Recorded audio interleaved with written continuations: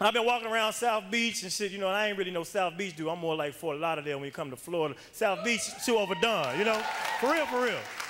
You know, dudes, a lot of little dudes running around, you know, with the flip flops. Let's let's get away of uh, the flip flop. I understand it's Florida, it's beaches, but if your ass ain't in the water or by a pool and you a grown ass man, you ain't never supposed to have on flip flops. never. I ain't talking about sandal, I ain't talking about that Nike, I'm talking about that shit between your toes.